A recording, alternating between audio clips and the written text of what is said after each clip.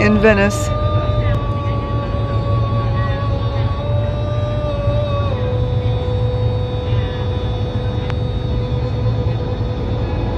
Great way to start the morning.